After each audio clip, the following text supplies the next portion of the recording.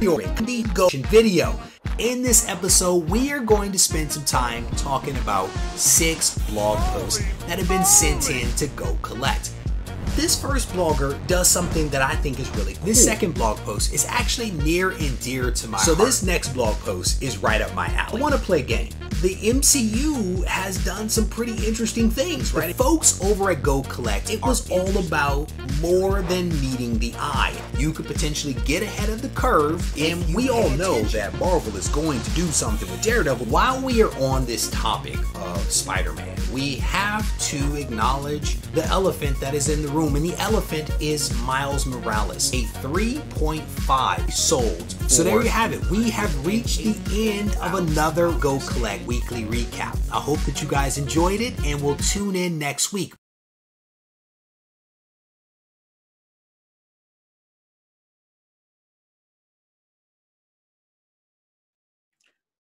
Hello, everyone, and welcome back once again to Wizard World virtual experiences as the crowd emojis wildly. Let's see those emojis. You can clap too. We, we can't hear you, but uh, we, we know and we your love uh, from around the world. Uh, let's get those thumbs up and hearts on Facebook. Uh, give exclamation points on YouTube and then Twitch. You guys got the full gamut of crazy emojis. You can design your own emojis. So show us the love. Uh, one of my favorite series of all time. It's like a, uh, one of those cult classics, and I can't wait to talk to the cast members about it. Uh, some of the cast members of Freaks and Geeks are about to come out in just a few moments. Uh, some housekeeping things. We are streaming this to you completely free and live at Facebook Twitch, and YouTube.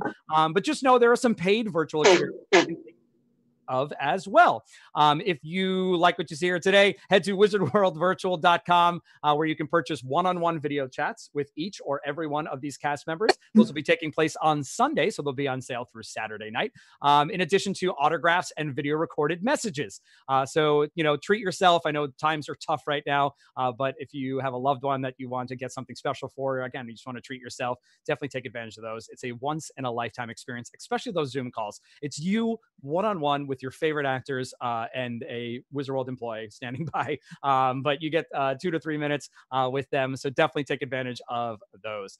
Those are the paid experiences. These panels are free. We have amazing panels coming up tonight at 7 p.m. Night Mage and Baby Alkaid cosplay are doing a co- makeup 101 demo. So definitely come on back here and check that out at 7 p.m. Eastern head to the Wizard World Vault. Uh, we can't do physical conventions right now. We can't wait to get back to them and see you in person. We're going to continue these because they've been going great. We've been connecting with folks and fans around the world. And so we're going to continue these. We'll get back to physical conventions soon. But in the meantime, we have to support our artists and vendors. And we've created an online convention floor at the wizardworldvault.com. You can find memorabilia from past conventions, past virtual experiences, signed autographs, Funko Pops, uh, posters, comic books, uh, works of art um, that is signed, uh, all kinds of amazing stuff. So check that out at the wizardworldvault.com. And last but not least, shout out to our amazing sponsor this July, Go Collect. Go to gocollect.com. They are keeping the comic book collection and comic book grading scene alive digitally head to gocollect.com to get your comics and posters graded. Uh, they also have a fun video blog where they just talk all things nerd. Speaking of nerds, let's bring out some nerds right now or some geeks. Sorry, I know there's like some contention over which definition is which. But uh, we've got some freaks and geeks uh, about to come out. Let's welcome them to the virtual stage. Um, you know her from The Parent Trap. Orange County. Go. She is the voice of Ruth in Family Guy. Um, she plays cheerleader and longtime crush of Sam. Uh, Cindy Sanders. Let's hear it for Natasha Mecklin. Melnick. My gosh, what's her name? it doesn't Natasha matter. Melnick. Sorry about that. I'm actually Natasha Pucker, so it really doesn't matter. Oh, nice. well, Natasha, thank you so much for being here. Uh, tell everybody uh, what's been so cool about these conventions is uh, we're finding folks watching from around the world. Even folks in Australia are like staying up till 3 a.m. to watch uh, these panels. Uh, it's amazing. We have someone watching from Guatemala uh, right now um, in yeah in the in the thread. In addition to around the country, obviously around the U.S. where are you where are you zooming in from right now? Hawaii. Ah, so what time is it? What time is it there for you? 10:05 a.m. All right, not too bad. Not too bad. bad. Yeah. Yeah, we've we've had we've forced actors to wake up at like 3 a.m. in Australia to do these, so not too bad. 10 a.m. It's a nice, cool uh, morning. uh, well, thank you for being here. Let's get uh, all the rest of your cast members out. Uh, you know this next gentleman from from countless films. television shows, voiceover, the stage, uh, most notably from Raising Arizona, Drop Dead Gorgeous, LA Story, The Tracey Ullman Show, The King of Queens, and my favorite, the voice of Roy in Dinosaurs, everybody. Let's bring out dentist and father of one of our other characters, Vic Schweiber. Let's hear it for Sam McMurray. I made it. You did it, Sam. You did it. we worked with Sam uh, beforehand on the whole stop video, start video. It's not. It, doesn't. It doesn't matter whether you're computer proficient or not. It's not the easiest thing to do, but you did it uh, effortlessly right there. It was seamless. I've actually been doing a number of Zoom things, including a playwrights conference, which was truly bizarre, but I think it was helpful at least for the playwrights. That is Uh, amazing. I usually go to in um, in in June and July up in Idaho, of all things.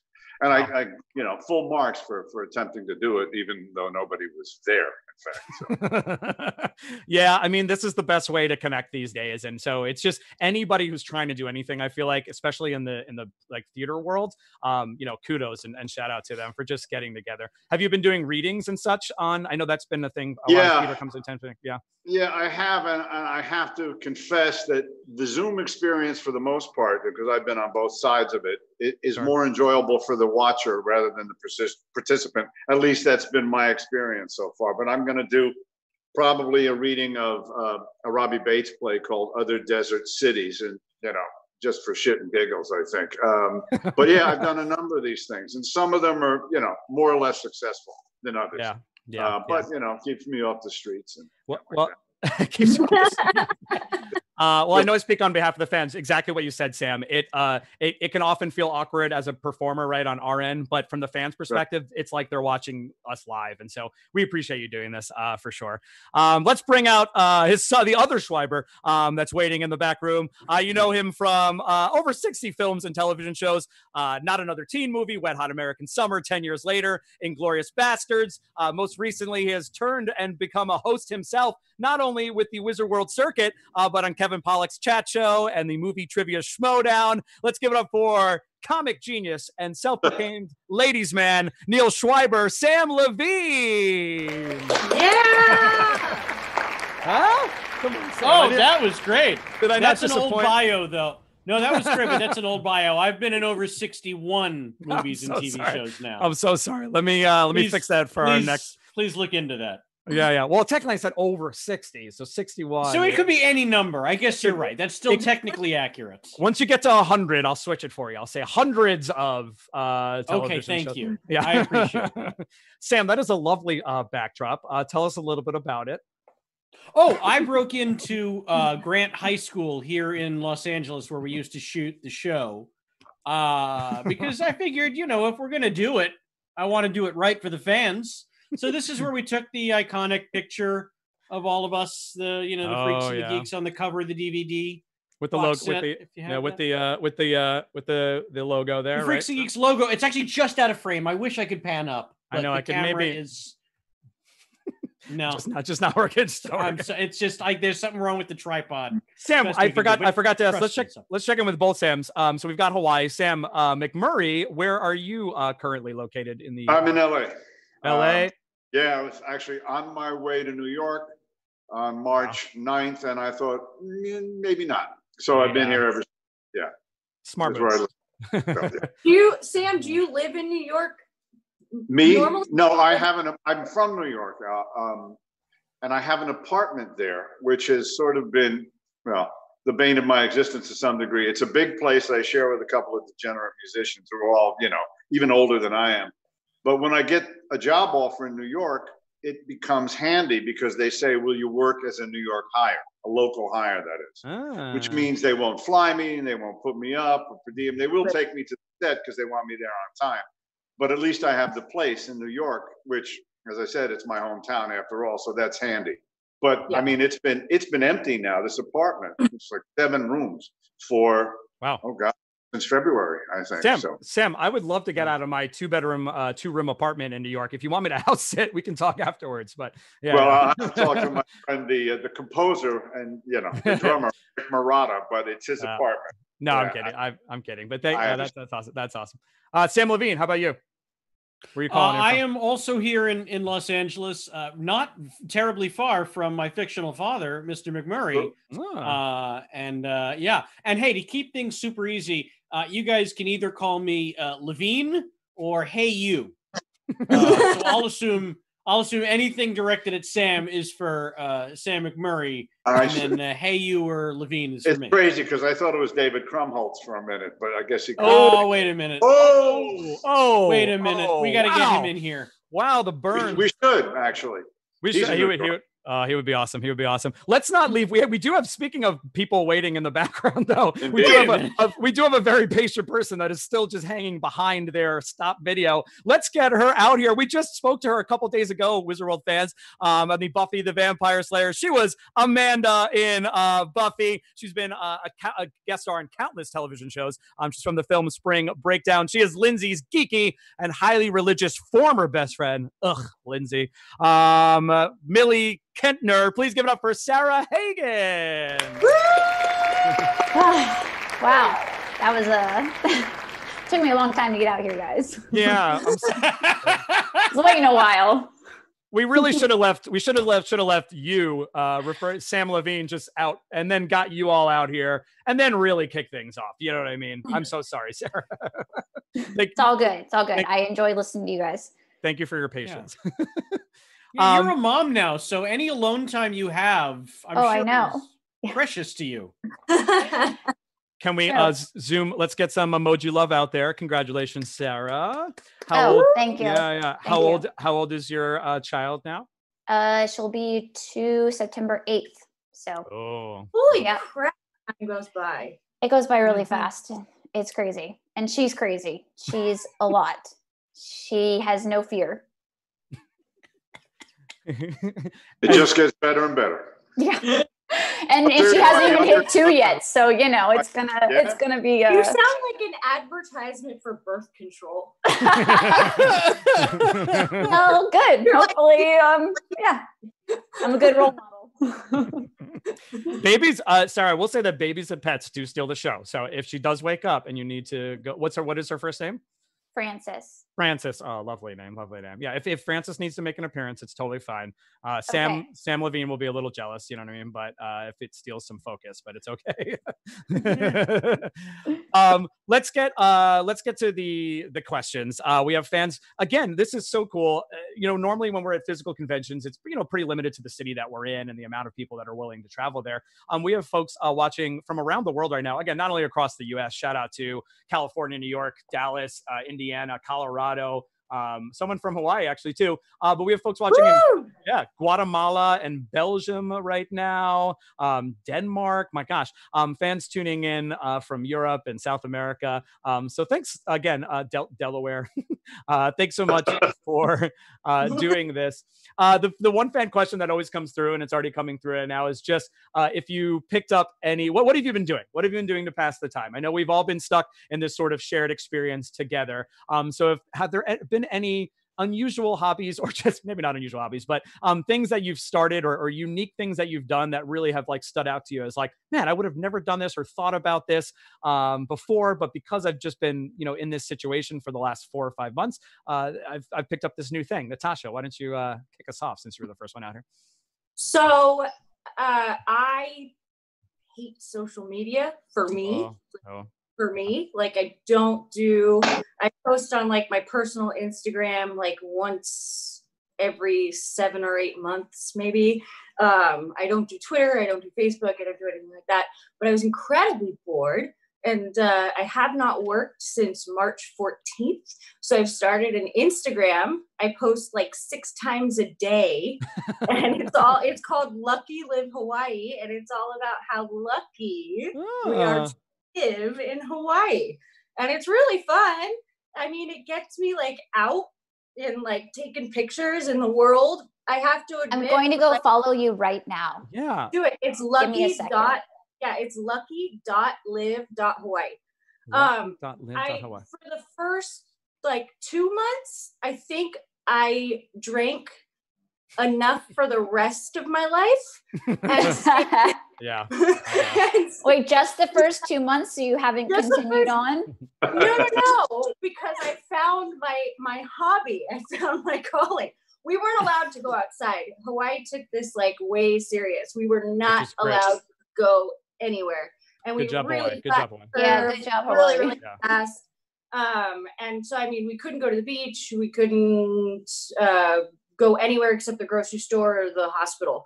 Um, so it was a lot of food, a lot of eating. Sure. Um, so it was really nice as soon as like we were able to get out. I was like, well, fuck yeah, I'm gonna start taking pictures and post them on Instagram. and it's cute because there's like a community. yeah. There's no pictures of me, which is great. so it's really fun. Well, it's yeah, it's been fun to talk. You know, like where's? I'll be right back. Yeah, yeah, no worries. Uh oh, are we getting Francis? We and Francis might be coming back. um, Natasha, it's it's interesting, yeah, because like you say, it uh, before all this, you know, social media was you know a thing, a place of whatever people wanted to make to be, but it could be very evil, very sad. But now it's like such a pe- people are using it to connect, um, Yeah. even more so. And so you found that that connection of like you know people checking in and sharing experiences and seeing where you are, you know, what you're And I love looking at other people's pictures, and it's just super fun. It's Awesome. something I literally never did before, and I'm super stoked on doing it now. Cool. Well, congratulations. I'm glad, I'm glad you're happy doing that. well, awesome. thank you. Yeah. And now Sarah- we get to go to the beach, so that's good. yeah, yeah. It is nice that you have the beach. Yeah, I guess when we'll you have see like, how long that lasts, though. yeah, when you have really nice things to take pictures of, it makes it a whole lot easier. It's so easy. Yeah. uh, um, Sarah, how about you? I know you mentioned you've got this two-year-old. How has life been? Uh, is it all just about the two-year-old, or have you been able to take up any other hobbies or interests uh, during this time? It's mostly the two year old, so you're absolutely right. I get about two hours a day sometimes when she's napping. Um, sometimes she decides that, oh, I just don't want to nap today. And that's a very unfortunate and long and horrible day. Um, but, you know, during the two hours of nap, I will sometimes sleep. I will sometimes just watch TV. Um, I have collected a ton of like wine corks. So I decided to make a cork board and I used Cute. it took me three days, so three of her naps to do it. And this is it. Wow. oh wow, this is a, re- a Oh. live reveal, everybody. Who knew? Yeah. we Oh, oh man, I didn't know we were doing show and tell. I so thought you were know that's what Red's I am doing during my lockdown. Also, I cut my fiance's hair yesterday, and Oh. it looks horrible. Sorry. Yay, congratulations. yeah, that's Not on Thanks. the- on the- Congratulations to him for a terrible haircut. Well, and, that, and that's very nice. It, it means he didn't have to go out and you know go into a situation that maybe was unsafe, and so you did that for him. I think that's super sweet. And you can count the amount of bottles of wine you've had uh, throughout quarantine. So I think that's awesome. There you go. Well, Yeah. this was before quarantine, so it did. Oh, I actually have a few more cork boards to make since then. awesome. Uh, Sam McMurray, we talked a little bit briefly when you came on about uh, your continued work, you know, in stage and theater over this, you know, strange new Zoom format. But you know, besides that, or you know, in addition to that, uh, anything else to add that you've sort of picked up or discovered that's been a new thing um, during this whole time? A year ago, I went to Montgomery, Alabama, the Alabama Shakespeare Festival, to do Oh, a yeah. play by a friend of mine, which I think is quite brilliant, called Buzz, directed by Carrie Preston. And um, remember the cast of nine. And it was terrifying because I grew up in the theater. My parents were both actors, and Sure. my elder daughter is an actress as well. I don't think she'd like me calling her elder, but you get it. Um, but it, it was terrifying. I mean, I'd been 25 years since I'd been on stage without book in hand, you know, doing Yeah. stage. But um, this woman who's a dear friend who lives in New York and keeps banging away at it, we did actually another play of hers that uh, Carrie Preston was in. And this was right towards the beginning of March uh, and directed by my friend Julianne Emery, who is a tremendous hyphenate. Um, we did it twice, in fact, with Amy Aquino one Oh. time. Very nice. Um, so sorry to miss her. Yeah. But it's sort of, and then, you know, when the guano hit the fan here, my elder daughter, who was down in Carlsbad at the, what are they called, North Coast Rep there outside of San Diego, she stayed there for a while, but she, she was doing a Pinter play, got canceled, and then she came up and stayed with me, which was great for two months. And now my younger daughter, who's not in the business, she's the one who escaped the family, you know, illness. she drove down with her dog and her boyfriend from San Francisco, and she's staying with me now. So that's great. But to answer your question in a roundabout way, I thought I thought I thought this was to leading. writing yeah. Oh, awesome. So, awesome. and I've been doing that, and that was something I used to do 35 years ago. In fact, I did it for a living back in the uh, the dog and pony show days, writing industrials. But this has been a very interesting journey, and um, it puts me through a lot of hoops that I'm not particularly fond of. But if Oh. it leads me to something that's self-generating as opposed to being an actor, then it's a good thing. You know, so That- that's so awesome. Yeah. I mean, the chat. Yeah. I think, and that's like the positive thing that, again, a lot of people have said is they've, you know, been challenging themselves to do things like you said, even Natasha. I mean, even something as simple as like an instant, you hated social media, you, ch- you pivoted to Instagram, you know what I mean? And you're finding a lot of happiness in it. Same thing with you, Sam. Um, you know what I mean? Like you, to challenge yourself and try new things and kind of, are you writing like plays Wait, or books are or you novels? writing off my corkboard? Like, come on. that was like, my- not me. Not that was my, that was I, my, I, I was such a rambunctious child that when I got a, my bedroom when I was like, I don't know, eight in New York, my parents actually had the floor made out of cork because I was Ah. just bouncing off of everything, which was fairly clever. but no, no, not at all. In fact, what I did think of though was you're probably going to run out of material because if you notice, wine is now coming all screw top, even the better, you know, vintages. yeah. Because yeah, it lasts longer that way, actually. So, oh well. Funny Yeah, as- better- smaller percentage. Actually, I think it's like a near zero percentage of spoilage for for. For for screw top. Mhm. Yeah, I know, I know. Oh well. I've been doing some of that though. I've been enjoying that, the drinking part. That's always fun. Oh, yeah.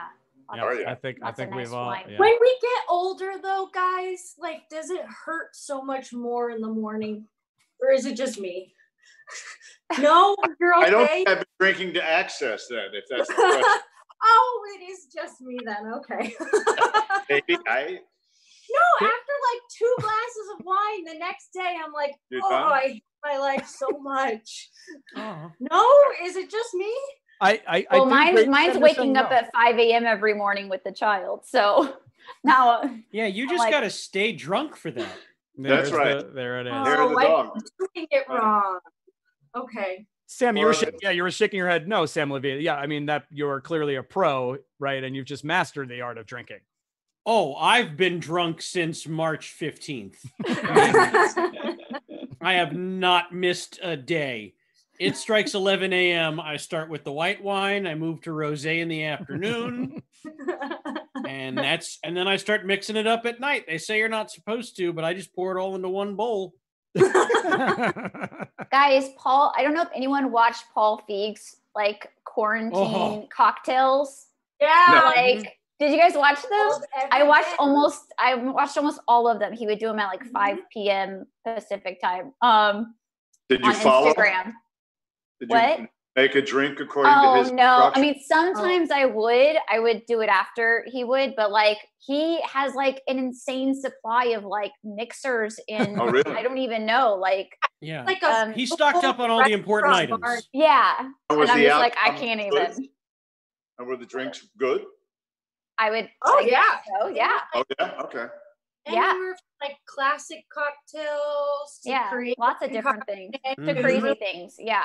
But he's He's got to got- like a hundred episodes or something, like a hundred days, and then he's like, "Okay, got to get back to work."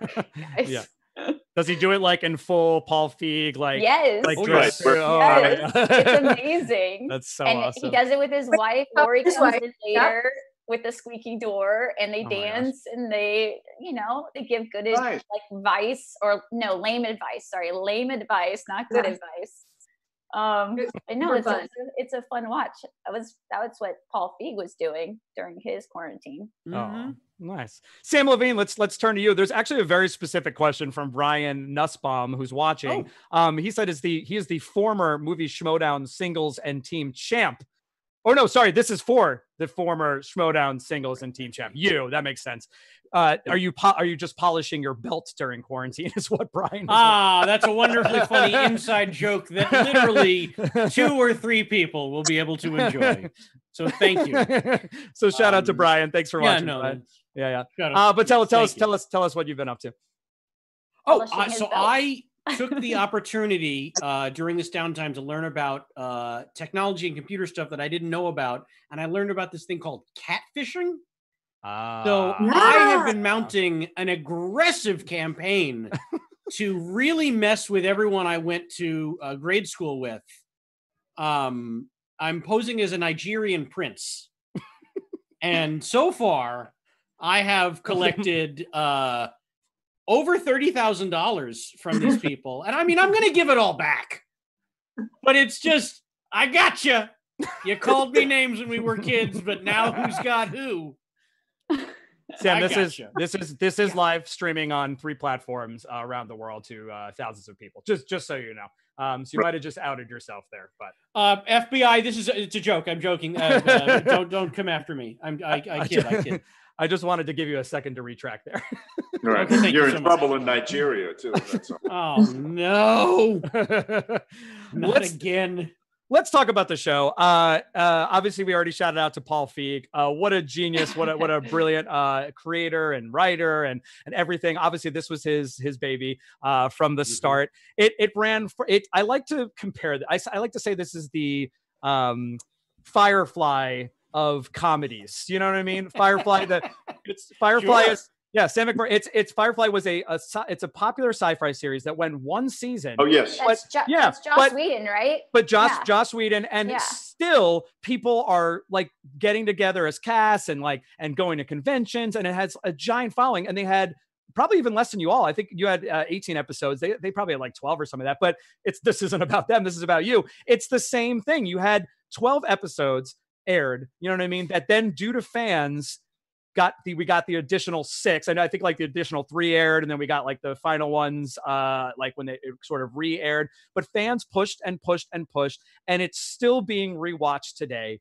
for one season of a show that is just such a brilliant show about adolescence and and real life uh, in high school uh, this a specific question comes from amber jeanette andrus I love this show. It deserves so much time, more time on the air. Um, and so I, the question is, is not, you know, what do you regret or like what do you think, but just like, what do you think is that what has cr- last created to that lasting power that people are still rediscovering it and enjoying it and just, just savoring that eight, those 18 episodes.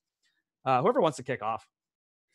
Uh, I'll start. I, I think the, the thing, and I've and I've uh, you know talked about this before. I think one of the Sure. things that keeps people coming back to the show is even though it is a period piece, even though it's set in 1980 in Michigan, Sure. the the themes, the relationships, the wants, the desires of the characters in the show, those are truly universal. It does not matter what era you are from.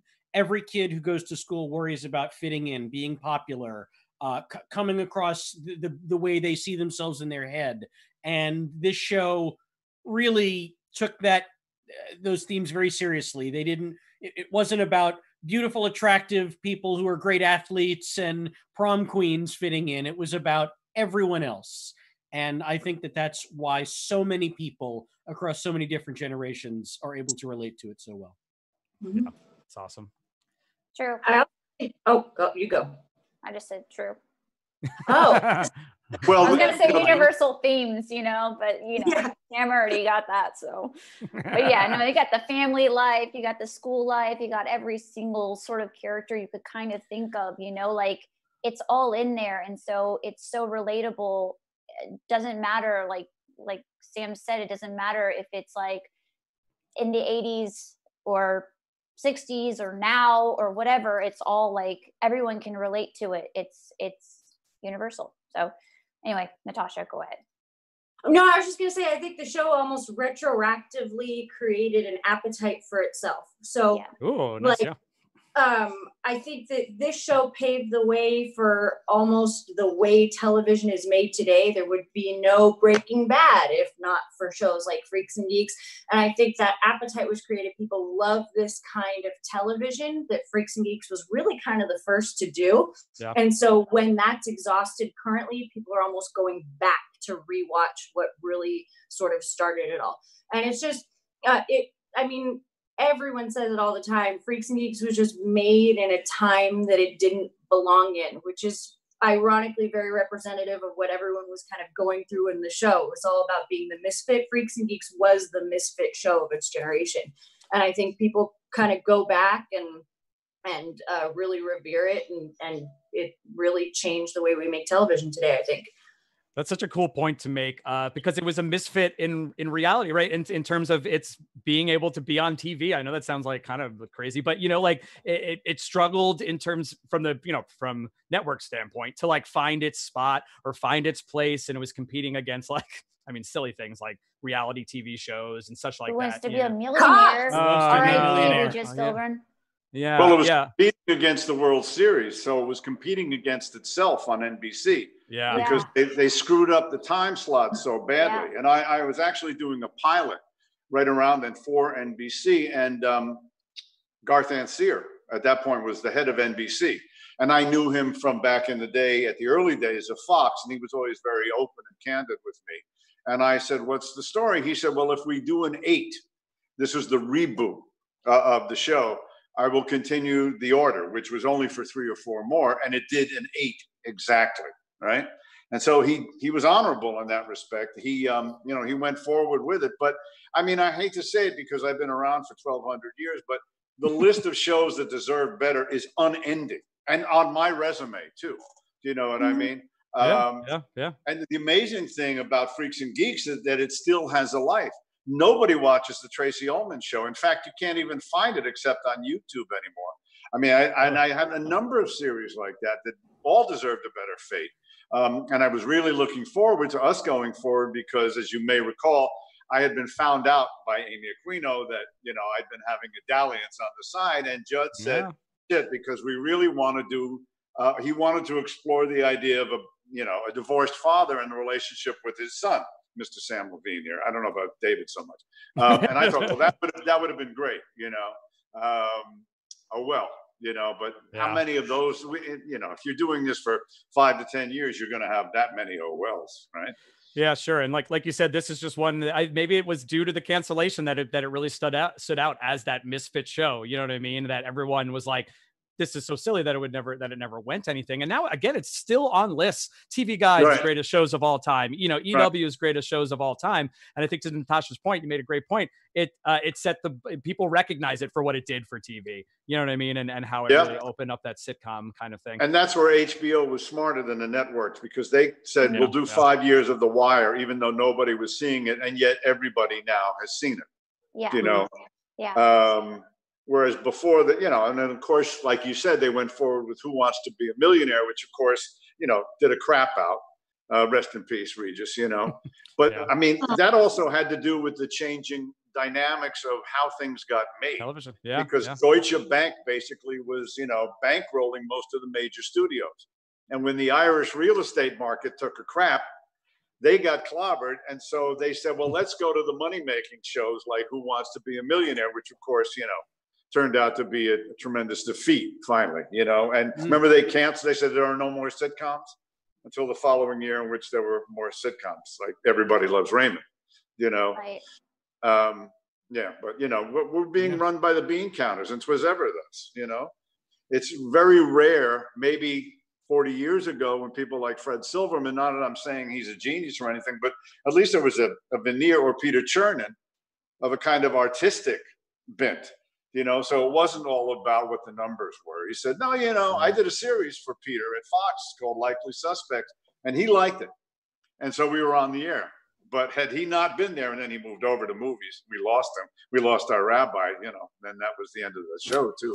This is this is amazing. This if you wrote if you wrote this- info. yeah Sam McMurray if you you should That's write amazing. the history of TV the I history know. of television hmm and then and then vo- uh, voice record it. Oh man, I would listen to that uh, every day. Yeah. And thank Well, you for the funny, pointing out, the funny thing is, I'm sorry, go Sam. But No, I was just going to say I didn't realize that uh, the tontine that we had entered with "Who Wants to Be a Millionaire." Now that you know Regis is gone, rest in peace. We win. Yeah, we do. Yeah, so for whatever that's worth. Yeah, well, that's the idea is to outlive all these other motherfuckers. Did- did I say- That's all right. Natasha set the bar. I think Natasha dropped the dropped the first F bomb. So now we're now we're good. Now we're good. I, this play that I've been working on is actually something Well, that I, fuck I it. put together for. Thank you. oh, did I? yeah, I you said it reading- first. You said it first. You said it first, Natasha. Oh. But the interesting thing that Sam is talking about is sort of resounds to this play I've been working on, which is about the transition in like the late 40s from radio to live television, right? Yeah, which yeah. is fascinating. And that's why I'm actually working on this thing. And my parents, in particular, my father did a lot of live television in the late 40s, early 50s. He, you know, come back and after the war and started acting. And people like Sidney Lumet used him a great deal. And I actually tell this story. I stole it for the play. My father goes in to meet not to meet not to meet Lumet, excuse me, to meet Henry Fonda, who was not only the star, but also the executive producer of 12 Angry Men. Right? I'll be quick. And Lumet, who was something of a munchkin, says, Hank, I want you to meet Dick McMurray. He did Philco, he did Playhouse 90 with me, yada yada. I think it'd be great for juror number 12, whatever. and Fonda's sitting in a chair and he stands up and walks over and stands next to my father. Now, my father was six foot three and Fonda was maybe maybe five ten and a half. And he looks up at him and he goes and he sits back down. End of story. no, but it's in the play. This is But awesome. it is. It's The book. The whole and of course Yeah. television was all in New York in those days, you know. Yeah, So they yeah. screwed the pooch with the unions and so forth. But yeah. So I'll, we'll talk later, Sammy. You'll tell me what to do next. By the way, I want to say I did an appearance with Sam on the Kevin Pollak show. Oh, That's nice. true. I Nice. oh, I got to interview you at length, and that, to my knowledge, it's still up on YouTube in our archives.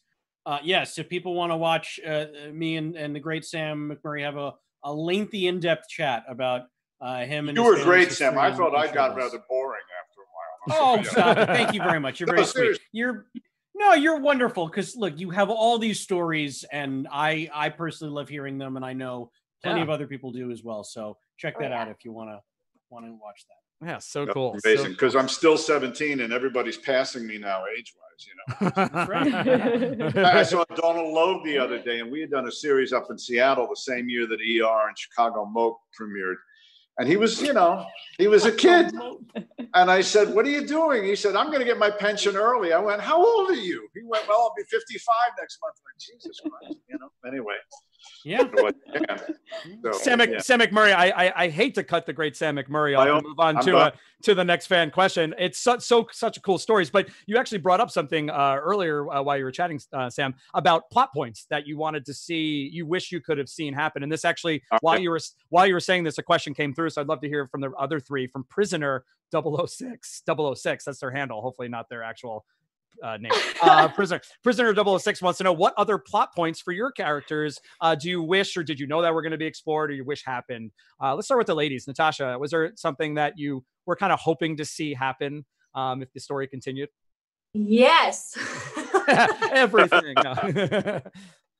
So um Paul Feig had always talked about we kind of saw later as the progression of Cindy's character that she uh, was was very conservative politically. Um and uh she's kind of a super republican. And so um Paul had always talked about how funny it would be to see she and Sam running for student body against Ah, they're running for class president. So I thought that would have been, uh, you know, going from him being just adoring her to to them being sort of a, a little bit of a nemesis relationship there. I thought Yeah. that would have been really fun, and Oh, yeah. it was really interesting to get in the head of a person who is a super Republican and sort of explore that in the 80s. I thought it would have been really funny. Uh, oh Just my gosh because you don't see that in in TV a lot, you know what I mean? Like you don't Not since family ties. it was such a weird right but i mean it was such a weird like care like she just seemed so normal and then one day i read the script and they were and i was like oh that's really funny so i thought it would have really funny to explore yeah that's awesome and obviously referring to Sam the character, not Sam the Levine or Sam the McMurray, but Sam, another Sam in the mix there. Uh, Sarah, you uh, came in, became a super popular character. I know you were nominated for a bunch of awards for it and everything. Um, anything you would have liked to see uh, Millie kind of happen with Millie? Um, well, I would have liked to have seen her explore the freak side a little bit more. Ooh. That's for sure. I think that would have been really fun for season two. Like if yeah, it would have gone a little bit further. Um also I feel like like um one of the writers was saying like one of the things she wanted to explore was like one of the characters like getting her period. And like she was thinking that would have to be that would be Millie and like exploring the first time someone got their period. And so I don't that would have been interesting, I guess. But yeah, definitely the freak side. I was uh I was definitely a fan of that that episode. Awesome. Sam Levine. Obviously, we bring your brother in, David Krumholtz. That becomes Uh-huh. a thing. There's Yeah. uh, yeah, it was- which was super f- a fun addition towards like the latter part. You know what I mean? Uh, but Yeah, how about no, yeah, how that about was for great. Yeah, yeah, yeah. Uh, I, I mean, I loved, I loved all the scenes I got to shoot with Crummy. He was great. I, you know, uh, I, I loved the dynamic that he and I and Sam McMurray and Amy Aquino all Yeah. had together. And in season two, we would have seen quite a lot more of that because, as, as Sam McMurray alluded to before, um, season two arc for Neal was going to be his parents splitting up, a really uh, uh acrimonious divorce and and yeah. uh and how that was going to affect Neal and he was going to kind of rebel a little bit um and that would have been that, that would have been fun to you know to to sink my my young actor teeth into uh but they were going to have Neal join swing choir as a as like an outlet and What to this day I'm that? still that's the thing to this day I'm still not even sure what that is Swing so Is that that- still? yeah that's that's yeah i don't know if that involves like singing and dancing, Yeah, Right. like Yeah, that's what- Oh, it might be one of the. They do have the choirs that do choreographed, yeah, movements at the same time. so Uh, i believe that's what it was hard. yeah It's not a I don't choir know. that just yeah sleeps with a different. it's not it's not a choir that oh, sleeps with other choirs Yeah. All right. Pass. I want to say it's like show choir. So yeah, I think show choir is swing Okay. choir. I don't know. Maybe the Has fans anyone watching. Googled swing choir? I just did. i've tried and- not to I- i'm afraid to you It's- never know what two innocuous terms you're going to google and it turns into something horrible See, the internet is scary, you guys. it's very scary It's a scary place. It's a There's scary things that you accidentally see that you don't want to see. Like And you swing can't sounds like it Yeah, could right. be Yeah. one of Yeah. You all mentioned uh, the writers, and again, obviously Paul Feig, show creator, but then uh, shout out to all the brilliant. I, I think that really is what you mentioned. The show is about adolescence and high school. There's a lot of those shows out there, but what set this apart was the writing. You know what I mean, and and the relation and where it took the characters and how the characters interacted, and it just felt so just so real and so so awesome. So again, uh, my question leading into it is just uh, how much, and you meant you all mentioned kind of talking with the writers. How much did you bring to your characters early on as part of the process, or were you really just coming in as as as actors and kind of getting the script and sort of running with it? Um, I always love to hear sort of what the give and take was in the in the writing room. well, they did table reads of like do they do table reads of every single I think it was every single episode. I think we- most of single them it was Most of most them, of them yeah. as we got And towards the tape end and we were a little short on time we didn't get to do Yeah. those other- That's But they would tape Our them. Intention was to do them for all of them. yeah. But i think like the i mean the writers would be there and everyone would be there watching and i think they would like kind of see how we as actors would say these lines but then also adjust it based on kind of us bringing in i guess our own take on the characters. Um so they they really use those table reads to kind of make the make it fit for us kind of Sarah, you have the best story about that.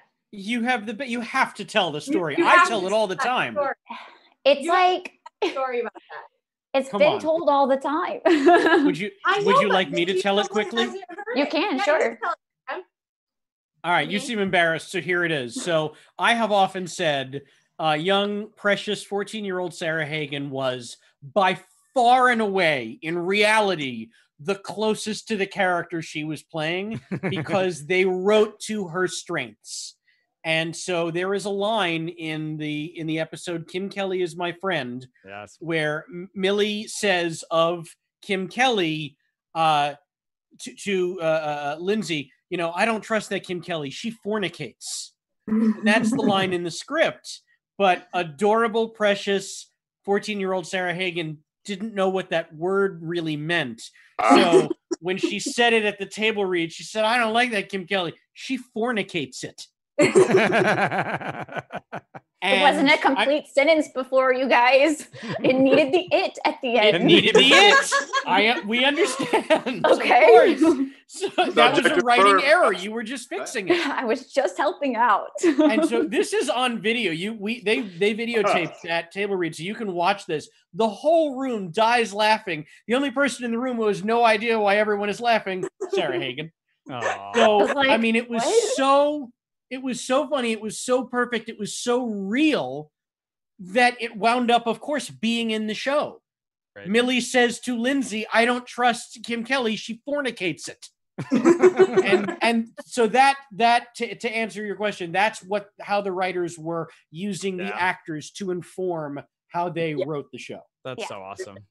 And that's what made it so genuine. And that's why it felt so genuine the entire time. You know, you always felt like you were the characters, not actors playing characters, you know?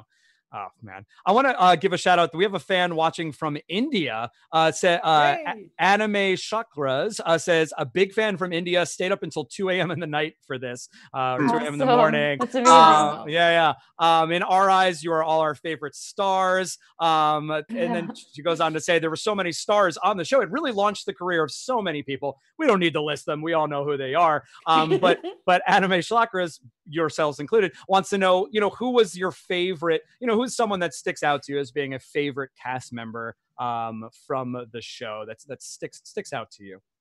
a favorite? I know, That I is, know. like, We're putting a a really horrible. I know, I mean, I not know. not sorry, not a horrible question. It's just I can't pick a favorite. Like I. I'll I take mean, it. yeah, one. Okay, fine, I, I Sam. fell You in love can. with Linda maybe. Cardellini. I thought she was just, you know, Yes. out of sight. And in fact, I was just watching um, Dead to Me, Dead to me. Oh, she's which brilliant. is amazing because I knew Christine when she was 16 years old because we were all at Fox in the very early days, 86, 87, and so forth.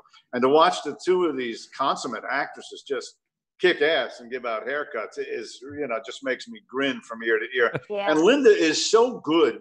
She is so good that she doesn't get enough uh, uh, appropriate reaction. You know what I mean? She does not get the appreciation she deserves because she's always so solid. But this thing, she's Yeah. you know quite amazing. well, And she's just apparently they're- nominated for an Emmy.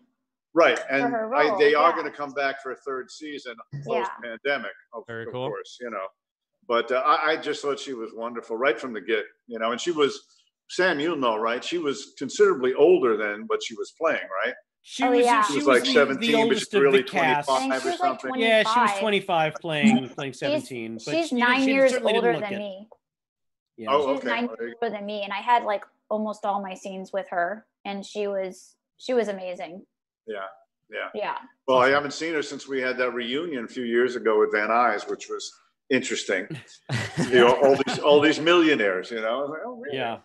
Okay. I know. Like doing The Simpsons now. You know. Anyway, that's another. the freaks and geeks have separated. No. Um, Yeah. yes. Yeah. Well, maybe not even Okay, favorite. I- I know favorite is tough. Oh, well, Sam's going to pick one. Maybe favorite yeah, no, mem- I, memories. I, I, I want to say for me, so I have always, always, always been a, a huge fan of movies and television. So one of the hardest things for me as an actor is when I'm on set working with someone whose career and work I really admire, I have to walk this delicate line of playing it cool to not just like overwhelm them with, you know, Chris Farley show level like, so you were on the Simpsons, that that must have been cool, you know, that kind of thing.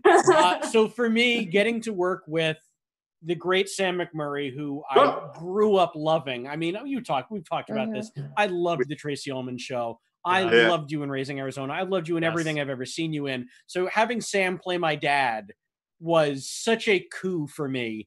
And uh, then having the great Tom Wilson play Coach Fredricks. Oh, Oh, yeah. yes. Yes. I mean, So you know, we got we got Biff. I mean, he's no Yeah. such an enormous great body of work. Yes. And I- you know, what's I, so I fun- yeah, No, no, go ahead. Josh. no, no, All I- But I'm gonna stop. You talk. Yay, Zoom calls. Zoom calls. No, I was just saying, I- So uh, Tom Wilson got to play a coach. I was on a very short-lived television show called Do Over, and they didn't tell me who was going to be playing the coach. And I arrived at set one day, and it was like, oh my god, it's Tom Wilson, and he's the coach in this show too. It was the coolest thing ever. And I never, for I grew up watching um, Back to the Future like on a loop from a VHS tape, and like he's the one that I just couldn't. Like I still can't get over it. That Yeah. I was in a scene with Biff. It's like the coolest thing ever.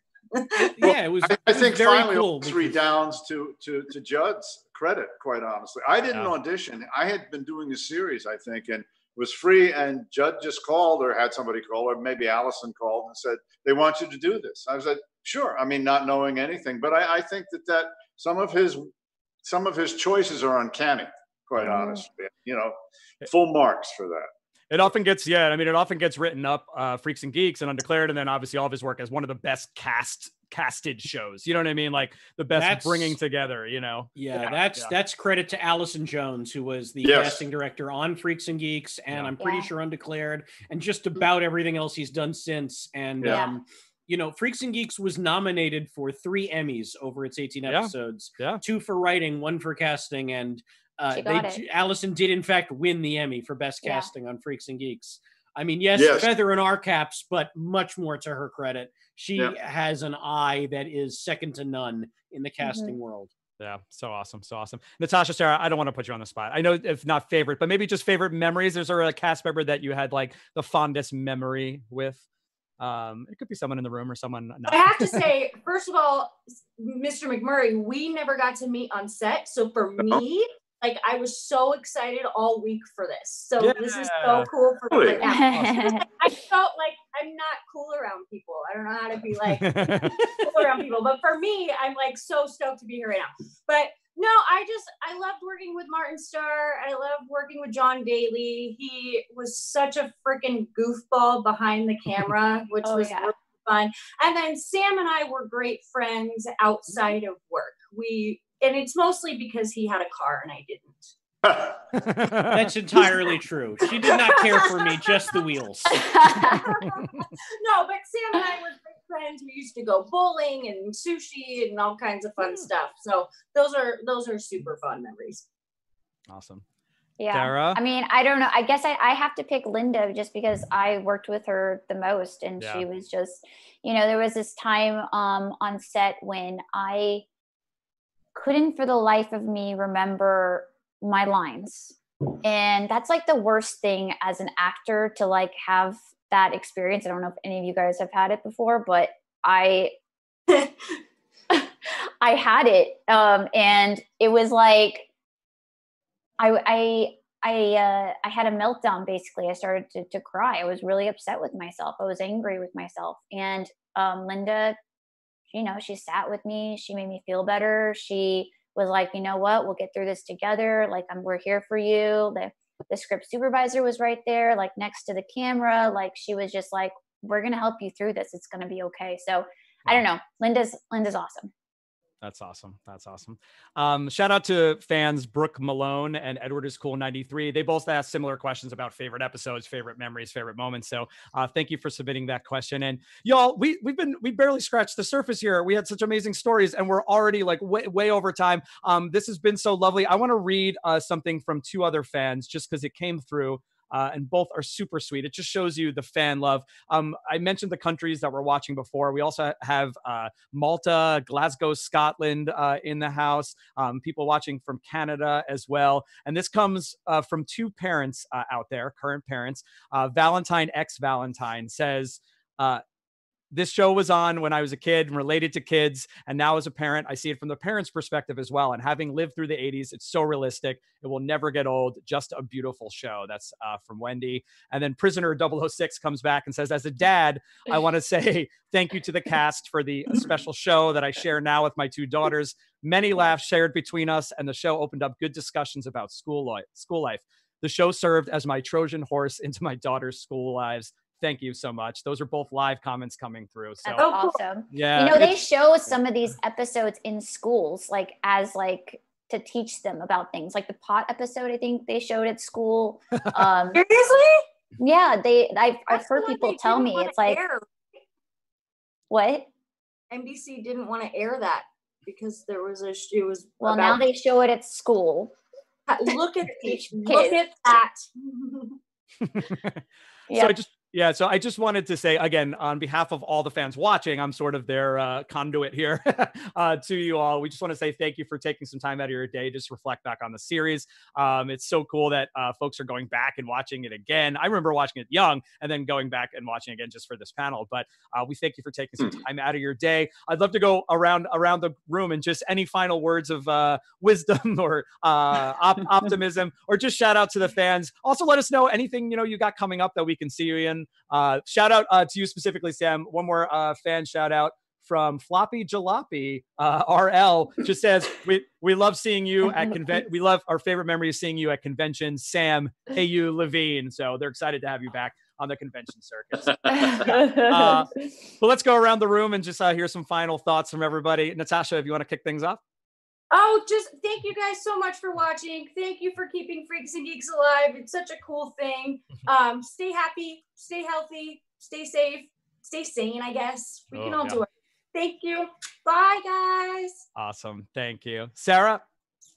Yeah, same. Thanks, guys. Thanks for tuning in. Um, it was nice to be here and to talk a little bit about one of my favorite shows ever being on. So, um, thank you guys to all the fans for like just supporting us all these years and continuing to watch. And it's awesome. I- We love you and nice to talk to you. Thanks, Mike. Thanks, Sam. Thanks, Thanks, Sam. All right, bye, guys. Bye. Awesome. Thank you. Sam Levine, why don't you take it?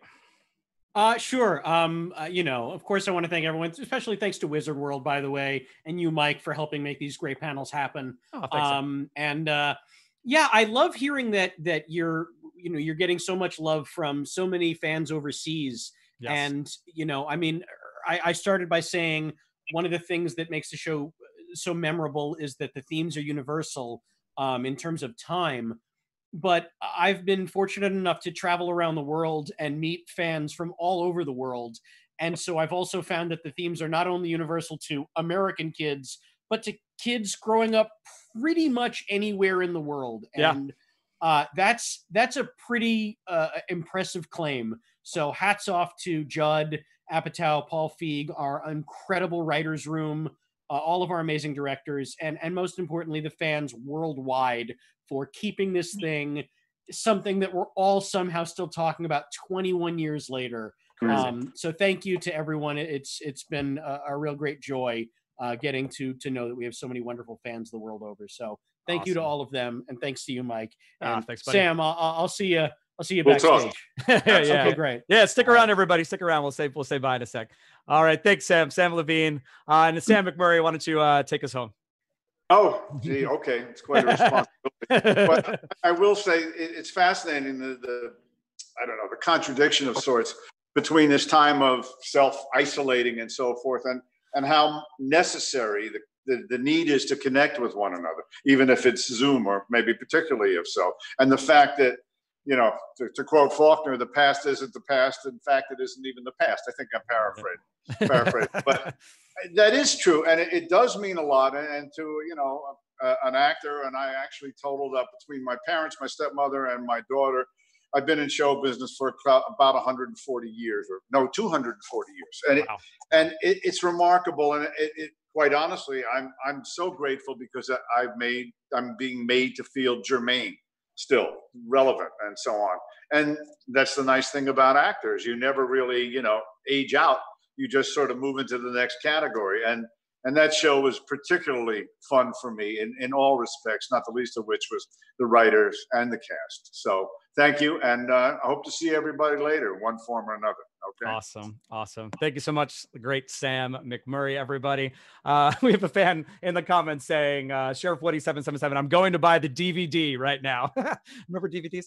Uh, let's give one more big round of emojis uh, to the amazing cast uh, from Freaks and Geeks. Let's hear it one more time in the comments. Show me those thumbs up. Show me those uh, hearts for Natasha Melnick, Sam McMurray, Sam Levine, and Sarah Hagan, everybody. Show them your love uh, through digital form. Uh, what a pleasure. And again, yeah, you can go back and watch it on, on various streaming platforms. It's definitely worth a rewatch or a uh, watching it for the first time, especially. And oh man, shout out to all the parents out there uh, that put in that they're sharing it with their kids now. That's so cool and so awesome, and just really adds to the legacy uh, of this show that will continue. Um, so again, uh, thanks to all the fans that submitted questions. Fans, if you have additional questions, guess what? Uh, this was free. You might be watching it live. You might be watching it later in the week, but you can purchase one-on-one video chats with each one of these uh, cast members or all the cast members. So head to Wizard World Virtual right now. You have until Saturday night, Saturday evening to purchase those, and then those will take place on Sunday. Uh, so definitely take advantage of that once in a lifetime experience to hang out with your favorite actor, actors, uh, and ask them your uh, specific questions. Those are on sale at wizardworldvirtual.com autographs, video recorded messages. Those will be uh, available throughout the week. So um, definitely head there and check those out. We've got some amazing panels coming up tomorrow. We are talking from many of the cast members from the Harry Potter film franchise, uh, in addition to cast members from Arrow. On Saturday, we are talking to Micky Dolenz, the legend, everybody, the Monkees, uh, Micky Dolenz. So uh, definitely come back for that. And stay tuned to social media at Wizard World. Facebook, Twitter, and Instagram to check out any of those upcoming experiences coming up. My name's Mike G. I've been your moderator. I love hanging out with you all. Uh, over 75 of these we've done, uh, and they're just always so cool and always so interesting. Um, they just keep getting better. So uh, we appreciate you hanging out with us. You can follow me at Mike G Does Things if you'd like. Uh, it's the best way to kind of slide in those pre panel questions. You can send them uh, directly to me through Facebook, Instagram, and Twitter. On behalf of Wizard World Virtual Experiences, this has been the Freaks and Geeks reunion panel. Thanks so much, and we'll see you next time.